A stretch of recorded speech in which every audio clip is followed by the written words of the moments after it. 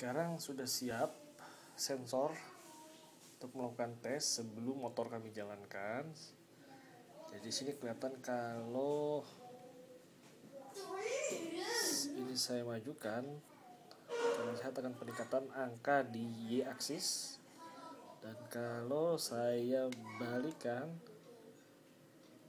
ada perubahan di Y aksis menjadi minus jadi kalau dimajukan menjadi plus kalau di di arah kebalikannya menjadi minus.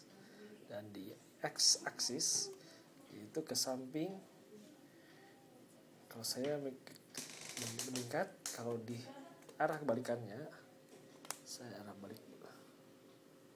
Maka akan menjadi minus di x aksis begitupun giro sudah ada perubahan yaitu giroskop akan berubah kalau saya rubah sudut dari uh, robot ini.